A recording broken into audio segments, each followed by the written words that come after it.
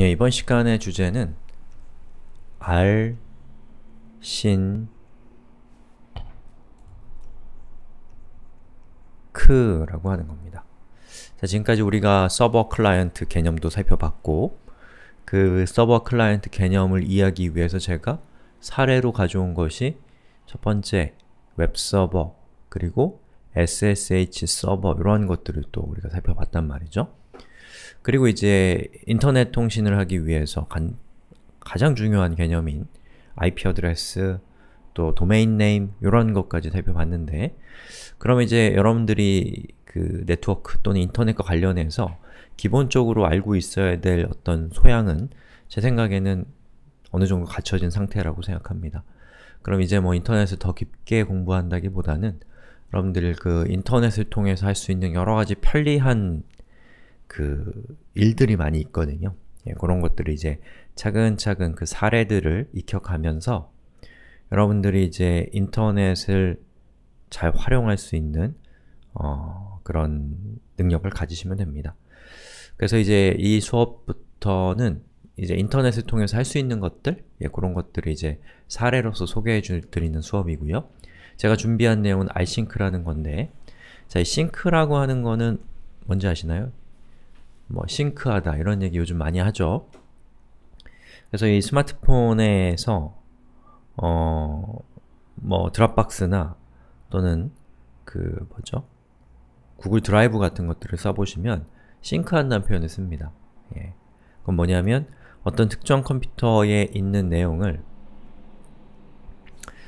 다른 컴퓨터로 이렇게 올려서 이쪽에서의 변경사항이 이쪽에 반영되게 하는 것이죠. 물론 이쪽에서의 변경사항 역시도 이쪽에 반영해서 이 두 개가 같은 상태를 유지하는 것을 우리가 싱크라고 합니다. 예. 물론 싱크는 방향성이 있죠. 이쪽으로 싱크를 하는 것도 있고 이쪽으로 하는 것도 있고 양방향도 있겠죠. 아무튼 그런 게 이제 싱크입니다.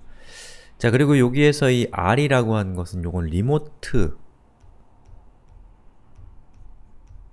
리모트의 약자고요. 즉 원격으로 서로 독립되어 있는 곳에 있는 컴퓨터들끼리 인터넷을 통해서 네트워크를 통해서 싱크를 할 수 있게 해주는 그런 프로그램이라는 거죠.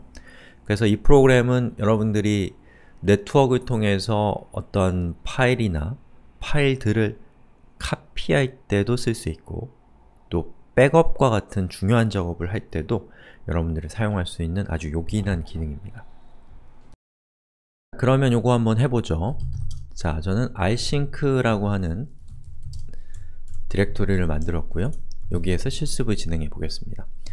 자, 우선 디렉토리를 두 개를 만들게요. dir1 음, mv dir1 자, 이름을 바꾸죠. 소스 소스의 약자 sic mkdir 그리고 destination의 약자, 목적지란 뜻입니다. dest 자, 이렇게 두 개의 디렉토리를 만들었습니다.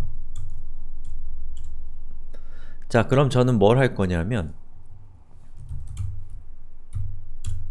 여기 있는 sic에다가 파일을 만들 거예요.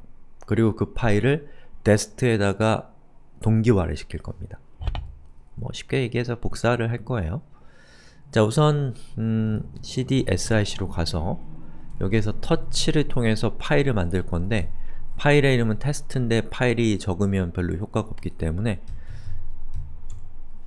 이렇게 해보겠습니다. 이렇게 하면 어떻게 되냐면 테스트 1, 테스트 2, 테스트 10 이렇게 파일이 생성이 됩니다. 자 보시는 것처럼 자동으로 파일이 생성이 되죠? 신기하죠? 자 그리고 바깥쪽으로 다시 나갑니다. 자, 그 다음에 이제 여기서 rsync를 실행을 해서 src에 제가 방금 생성한 파일들을 dest로 동기화를 시키겠습니다. rsync 그리고 동기화를 시킬 때는 A 옵션을 줍니다. 예. 그리고 src 슬래시 dest 이렇게 해야 됩니다. 만약에 여러분이 이렇게 하면 어떻게 되냐면 dest라는 디렉토리 안에 src라고 하는 디렉토리가 생성될 거예요. 해볼까요? 이렇게 근데 제가 원했던 것은 dest 안에 src의 내용이 그대로 다 들어가는 거거든요. 자, 그럼 저는 src라는 디렉토리 안에 아, dest 안에 src를 일단 지우고 다시 이 명령을 실행을 시키겠습니다. 슬래시를 하셔야 돼요. 이러면 src 밑에 있는 src, 요, 요거는 src 디렉토리란 뜻이고 요거는 SIC 밑에 있는 파일들이란 뜻이에요. 보시는 것처럼 이렇게 파일이 전송이 된 것을 볼 수가 있습니다. 그리고 이제 iSync의 아주 큰 매력은 증분 백업을 한다는 겁니다. 예, 증, 증분 카피라고 해야 되나요? 자, 예를 들어서 제가 지금 화면을 두 개를 띄웠는데 음,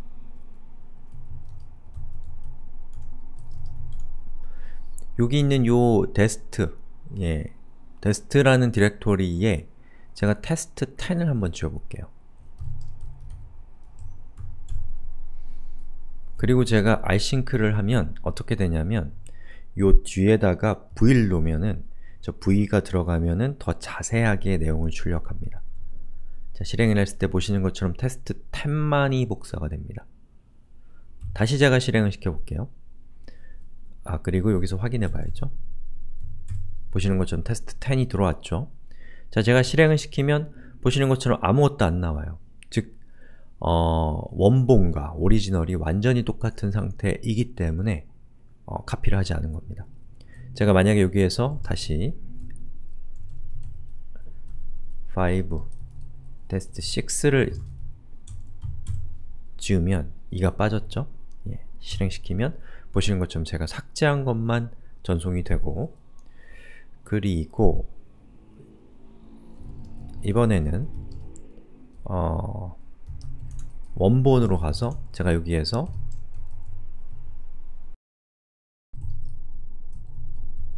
(11번을) 추가했어요. 그리고 iSync를 실행해 보면 보시는 것처럼 추가된 11만 전송이 되고 나머지는 전송되지 않는다라는 것이죠. 즉, 이 iSync를 계속 반복해서 실행을 해도 아주 작은 뭐랄까요 전송할 대상이 있을 때만 전송을 하기 때문에 굉장히 효율적으로 동작한다라는 겁니다. 자, 이것이 iSync의 기능이고요. 제가 아까 설명 안 드렸네요. 마이너스 a가 뭔가를 봐야겠죠? iSync my help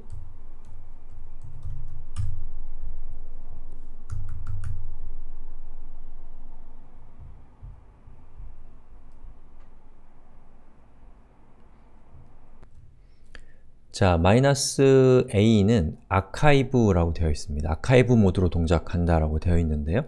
아카이브 모드로 동작하게 되면은 예, 어, 기본적으로 그 어떤 특정 디렉토리를 지정했을 때 이렇게 이렇게 되면은 이 디렉토리 안에 만약에 디렉토리가 있으면 그 디렉토리 전체를 다 복사하는 그런 모드로 동작하고요.